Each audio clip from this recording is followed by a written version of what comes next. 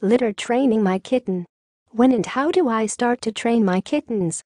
Are you wondering when is the best time to start litter training your kitten and how to go about doing it? Fortunately, cats and kittens are naturally fastidious creatures and they have a natural tendency to use the litter box. Unfortunately, if they start doing it in the wrong spot, it can be difficult to get them to move their activities to the litter box. Why? Because your kitten thinks that the place to pee is the place where she smells her urine. So, if the first place she went was someplace inconvenient like your pillow, this is the reason you should always have a good way to completely get rid of cat urine smells. An enzymatic cleaner like Nature's Miracle is very handy when you start litter training a kitten. Sprinkle cat litter over the soiled spot then wipe it up with damp tissue paper. After that, use the cleaner to thoroughly clean the area where your kitten did its business. You do not want to immediately throw away the soiled litter. Place the cat poopy in your kitten's litter box, then bring her to it. Do not rub her nose in the soiled litter. However, use her paws to gently dig at the litter to show her how to bury her poo.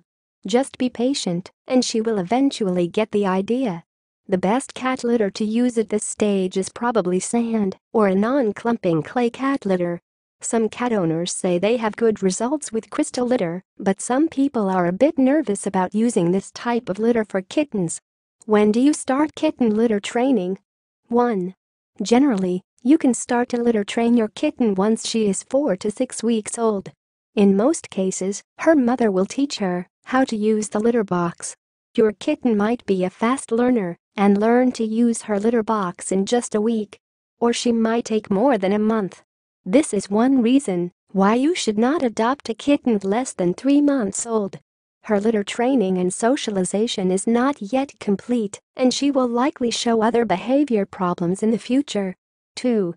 Of course, you do not always have a choice.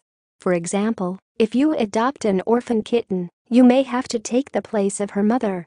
It helps a lot if you already have an adult cat who is already litter trained. Your kitten will tend to follow the older cat's example. 3. If you bought your kitten from a breeder, you should ask for some of your kitten's poop and soiled litter. Although it sounds gross, this can be really helpful in litter training a kitten.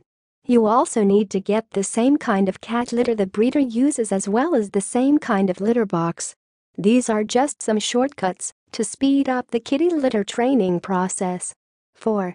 Litter training your kitten need not be difficult. However, you do need to be loving and patient with your kitten.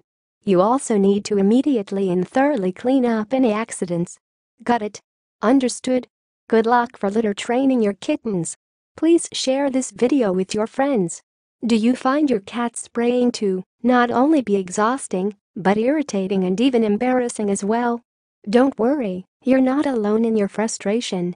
I will reveal to you is an easy and proven solution to help you overcome all of the toughest and most stubborn cat spraying issues you and your cat are facing right now.